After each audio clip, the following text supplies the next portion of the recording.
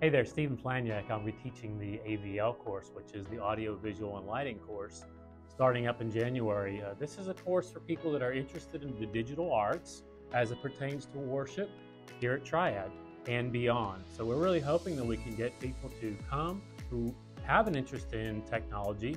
You may be a musician, you may be a student, you may be somebody who's just curious about what is it those people are doing up there in that room during service all the time. So we'd love to have you come. We'll show you how it works, and hopefully you'll go on to do ministry on your own.